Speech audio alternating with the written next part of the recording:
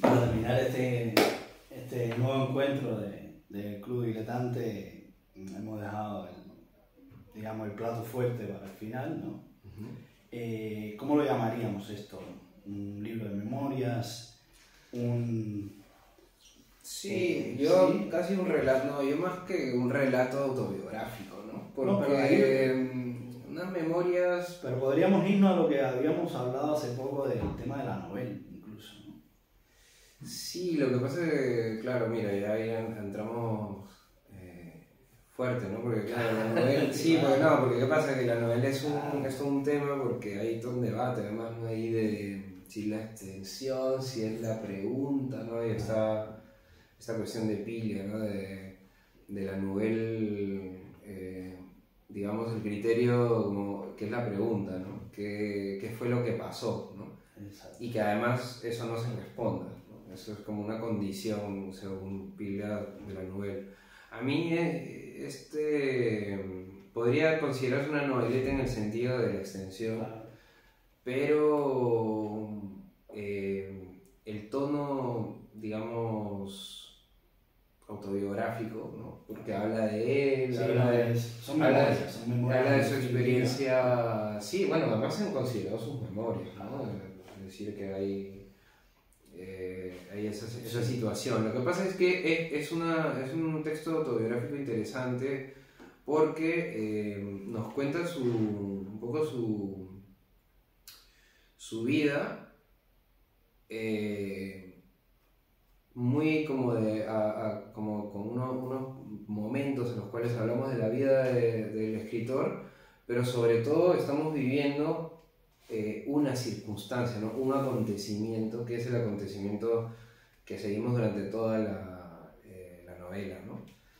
Eh, vamos a hablar de, porque todavía no he hablado del libro, claro. Claro, no no. hemos enrollado, nos hemos Y- ido directos a pero, pero bueno, más o menos ya ya se puede nos queda un poco claro de, de lo que estamos hablando, ¿no? A ver, eh, el autor es eh, Teodoro Califatides, que es un autor griego, pero que la mayor parte de su obra la ha escrito en, en sueco, porque se fue, emigró eh, bastante joven hacia Suecia, y entonces eh, la mayor parte de su obra la, la ha escrito en sueco siendo griego. Entonces este libro se llama Otra vida por vivir, es un libro que se publicó en el año, eh, bueno, originalmente se publicó en el 2016 y, eh, y en español lo publicó la editorial Galaxia Gutenberg, Sí. que, suele además editar y publicar eh, memorias, libros históricos y, y es espectacular, ¿no? es, un- Sí. es una gran editorial. Entonces, bueno, la mayor parte de su obra está publicada en esta editorial, en español, y eh, este libro es del año eh, 2019, ¿no? Ujú. Un libro además breve, ¿no? Como, como habíamos comentado, sí eh, y un poco cuenta la historia de que el- eh, queríamos también trabajar este tipo de libro que no lo habíamos trabajado en, en el club en, en ningún momento, ¿no? Normalmente leemos cuentos y, y novelas, pero queríamos trabajar ya no solo el tema histórico, sino el libro de memorias, ¿no? Y, y estos libros autobiográficos que también, eh, bueno, eh, hay mucho que ofrecer ahí, ¿no? Hay mucho que leer. Entonces, y lo otro que tiene también de, eh, de peculiar, si se puede decir, es que es un libro ya, uno de sus últimos libros, en un momento ya, en una edad madura, donde él está, bueno, anciano ya, porque tiene setenta y pico de años, y, y donde ya él está como retirado ¿no? de, de su vida como escritor. está totalmente ya eh, consagrado Exacto. Y lo que le ocurre es que eh, tiene un bloqueo, ¿no? O sea, está en un momento en el que pues la escritura ya es una cuestión de necesidad, ¿no? Como, como lo es para todos, eh, pero ya para él es una necesidad vital, no es una necesidad económica ni nada, porque ya, bueno, pues ya tiene está consagrado y en ese él se encuentra en ese momento eh, con un bloqueo, ¿no? no puede escribir, eh, no sabe qué le pasa, ¿no? y ahí está todo el cuestionamiento que le lleva a repasar su trayectoria. ¿no? Eh, ¿Qué es esto? Es un, un, escritor griego que en determinado momento de crisis política en Grecia, él decide pues, irse a vivir a Suecia. ¿no? Y entonces es una, una novela o un relato autobiográfico que no, no, yo creo que para mí ha sido interesante en, algunos aspectos. ¿no? Primero, como relato autobiográfico, memorias eh, breve. ¿no? Número uno, eso que ya lo estábamos diciendo. Número dos, que habla de la escritura. Habla de, la, habla de una circunstancia que, ah, que, bueno, que pasan muchos escritores, pero no necesariamente ya en, en la vejez, sino que en general hay diferentes momentos en la vida en que se encuentran con este bloqueo, ya sea porque han escrito un libro demasiado potente y ya no saben si pueden seguir escribiendo a ese nivel, o porque no han conseguido, bueno, o por una serie de circunstancias, ¿no? En este caso, eh, el, el, tema de, del bloqueo que nos remite a la experiencia de Califatíes como escritor, también nos remite al tema de la migración, que creo que es un tema fundamental de, esta, de este relato, en el sentido de que nos cuenta la historia mm, de un inmigrante, pero que al contarnos esa historia, la suya, nos cuenta también la historia eh, de gente que conoció en Suecia, que tiene unas trayectorias pues diversas, ¿no? Y, y luego que habla de este tema lo habla desde un punto de vista, digamos, muy particular, que es la nostalgia. La nostalgia negada. Porque yo siento ahí que hay como una especie de... hay un o sea, el personaje primero eh, reniega de, de su origen, es decir, eh, no se siente ya, siente que ahí ya no hay nada que, que, digamos que le, le identifique, no hay nada que encontrar. Pero eso, eso es posterior, ¿eh? porque hay un descubrimiento precisamente de su Grecia.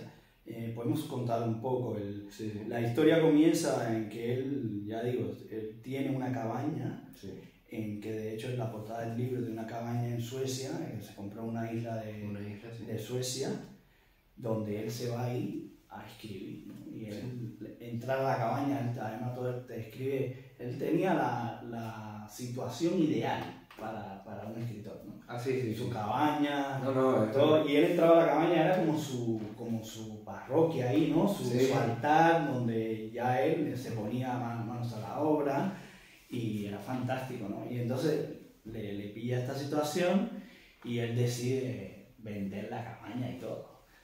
Y de aquello de arriba con, con tremenda valentía, además, ¿no? También comienza el libro en, en un momento en que él lo invita. Eh, eh, bueno, él, empieza en un congreso. Él va representando él está, a Suecia. Exacto, en un congreso y nosotros... Justamente representando a Suecia, como si él fuera exactamente, sueco. Exactamente, y entonces, y además eh, riéndose de sí mismo, ¿no? que eso es también fantástico, ¿no? de, de él como personaje que cómo se ríe de sí mismo todo el tiempo. Y entonces eh, está en ese congreso, no sé qué, luego entra eh, en esta parte que hablabas tú de, de, del bloqueo, y entonces eso, vende la cabaña y se van de, de viaje a Grecia con su mujer. ¿no? Y ahí, eh, por eso te decía que es un descubrimiento porque él llega y aquello no, no es lo que él había dejado claro. hace, hace un montón de, tiempo. Y él empieza además ahí a reflexionar sobre, sobre la importancia de Grecia, ¿no? Como que mira lo que ha, a, a donde ha llegado este país, ¿no? Y al mismo tiempo... Hay un, conflicto, hay un conflicto también que es muy importante de decir, que es que eh, la novela está contada en el contexto de la gran crisis económica que hubo en Grecia, ¿no? que también fue una gran crisis aquí en España, pero en Grecia fue tremenda. ¿no?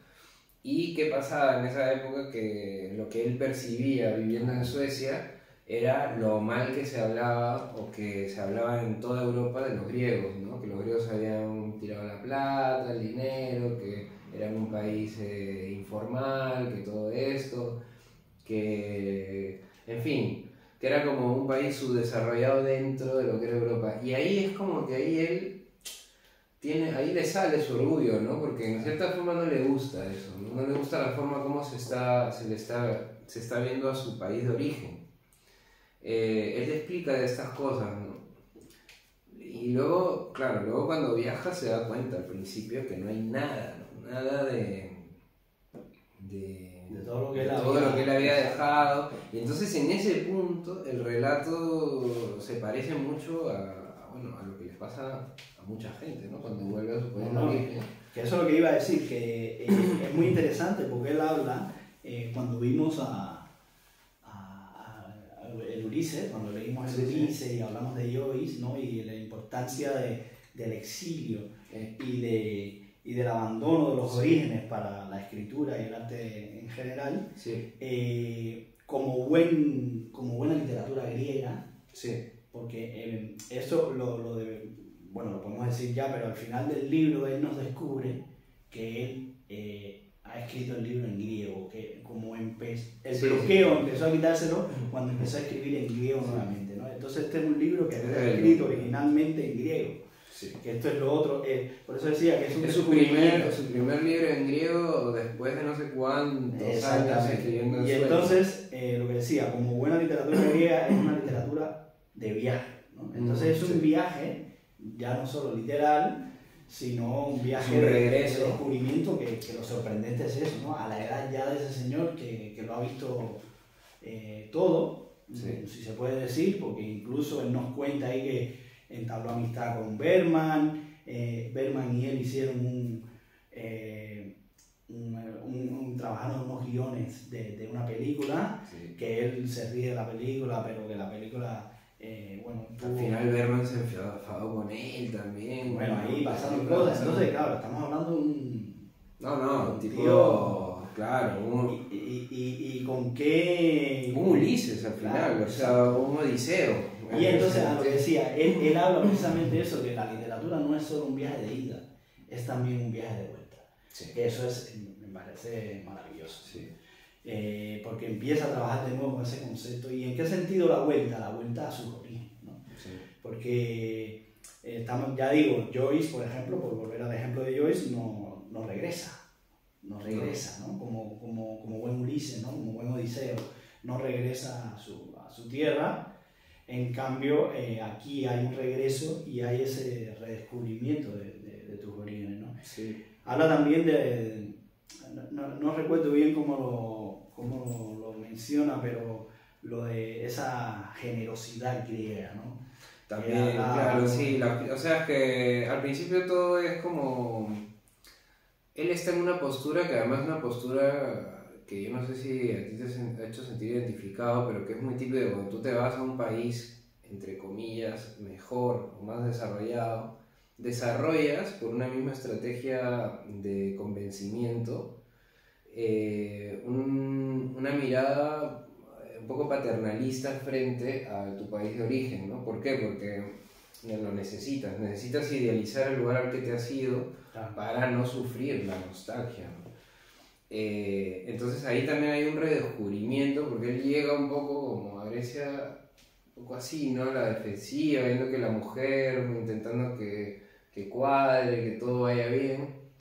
Y cuando ya se va relajando, que es sobre el final del viaje, ¿no? es cuando ya eh, se empieza otra vez a descubrir los encantos de su, de su país, ¿no? O sea, esas cosas consideradas por ahí eh, gestos tercermundistas, para él empiezan otra vez a ser cosas que, que son fascinantes, que son, que son valores que en, en, en el lugar donde vive son valores que se han perdido, ¿no? Eh, y entonces ahí hay ese de- redescubrimiento, ¿no? Y, y esa relaja, ese, ese relajo también. Tú, porque no sé, a mí me da la sensación que toda la primera parte del libro es como que es un personaje que tiene un conflicto que no quiere aceptar, que es que, eh, como todos los que nos vamos, ¿no? Eh, es como un amor perdido al final. O sea, porque al final tu país, de donde tú te has ido, es donde tú creíste que las cosas iban a ser. Y es un amor perdido. Y entonces en Has ese tenido que abandonar. Claro, y entonces siempre se habla de ese amor con un, con un final como amargo, ¿no? Eh, con una amargura, ¿no? Y, y, ese punto como de paternalismo, esto ya todo eso queda como una pose frente a, a enfrentar el conflicto real que es el fracaso, ¿no? Pues un fracaso al final, es un amor fracasado, ¿no? Y tú ves que aquí, aunque no lo dice nunca, se siente, ¿no? Cuando defiende, cuando no defiende, cuando, cuando se posiciona, cuando no. Y solo al final hay como ese momento de, ¿sabes qué? Voy a fluir. Y es cuando fluye con su identidad, con su país de origen, que, empieza a escribir otra vez, y empieza a escribir justamente en griego.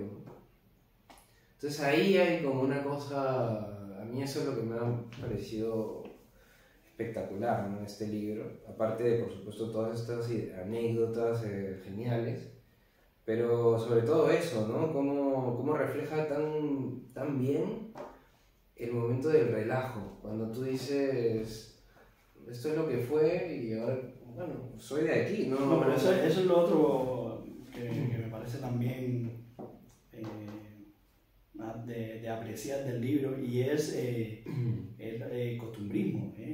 sí, porque además vemos cómo son los griegos, porque él, por mucha Suecia y mucho sueco, sí. es un tío que, que, tú ves que, y me recordó mucho, la, por ejemplo, Cuba, ¿no? Como ese, ese relajo, ese desparpajo de situaciones con, con tremenda naturalidad que, que, que, se ha perdido, ¿no? sí, sí, a mí también me ha dado sensaciones Y entonces es buenísimo porque él, él, todo el tiempo, aunque esté en Suecia, es griego. Es que, es que él no puede dejar de serlo, ¿no? Y es que no, nadie puede dejar de ser de donde es porque... Mm, aunque a mí también me da sensación, por ejemplo, después de tantos años viviendo aquí, que ya nadie te dice, eh, como al principio, por ejemplo, a mí me decían todo el mundo, ¿de dónde eres? ¿De Perú no pareces? ¿O de dónde? Ah, colombiano, peruano, no sé qué, no sé cuánto.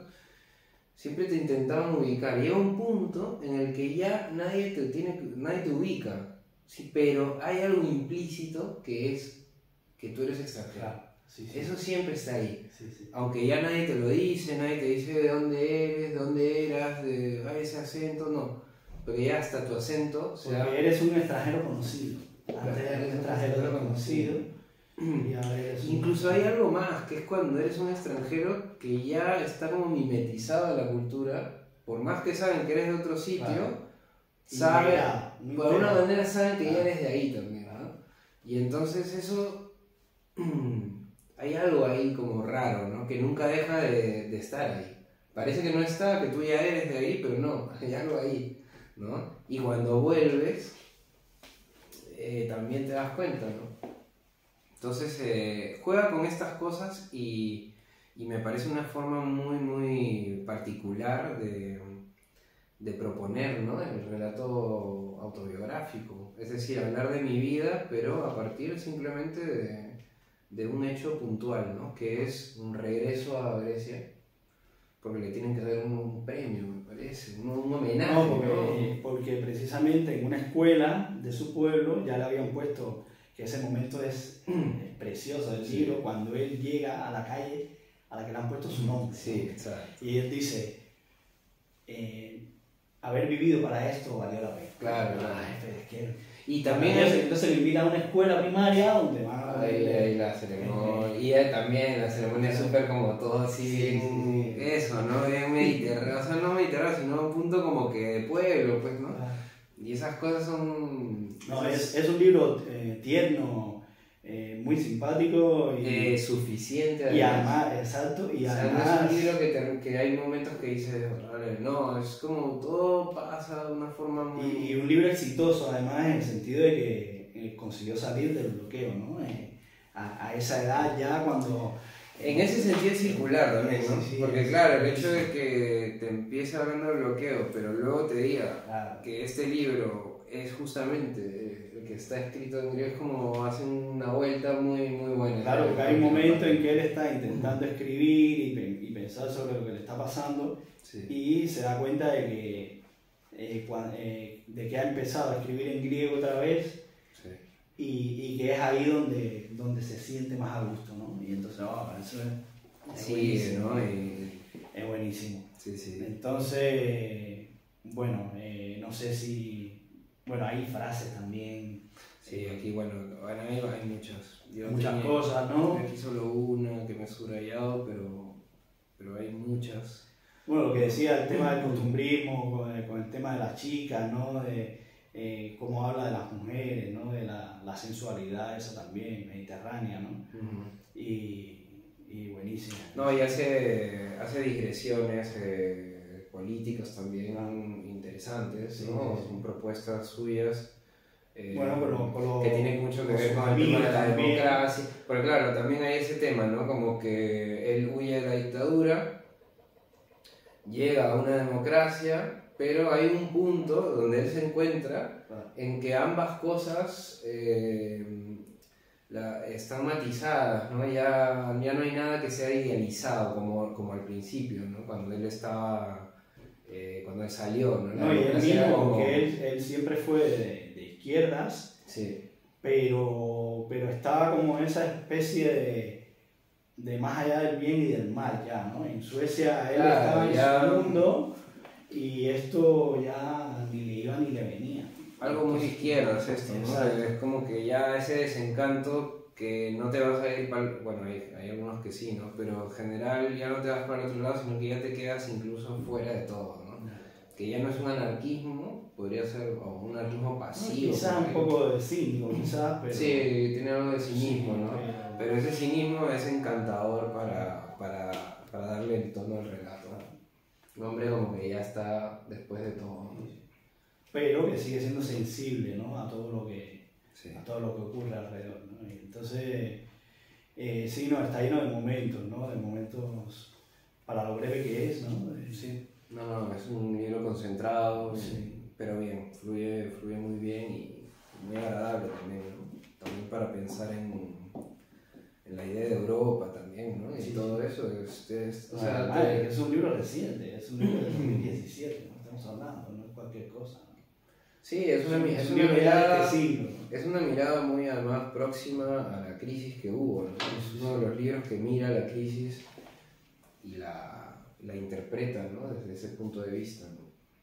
Sí, sí, fantástico, ¿no? Y bueno, del tema del- de la lengua también, ¿no? Eh, estamos aquí en un autor que, que normalmente no escribe en su lengua natal, ¿no?